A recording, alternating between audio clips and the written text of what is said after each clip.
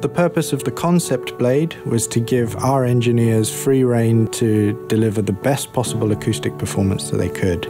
Blade arrangement of drivers in its purest form is a tweeter, and we surround that with a mid-range driver to form a UniQ array.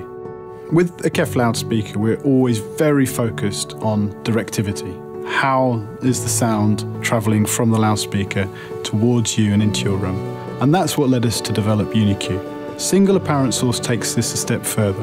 We take UniQ and we place four bass drivers around it symmetrically so that we can control directivity and deliver the sound from one point in space over the entire spectrum. The shape is really guided by acoustics.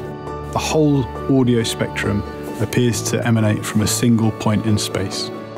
Every Blade loudspeaker is built as a pair by one craftsman from start to finish.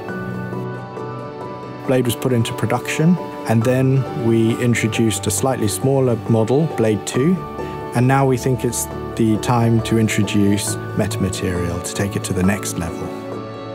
Metamaterial absorption technology is a special type of sound absorber that we place behind the tweeter. We use a metamaterial to absorb 99% of this sound that is distorting the sound of the tweeter. Sound from the back of the tweeter goes into the metamaterial and just disappears, it doesn't come out.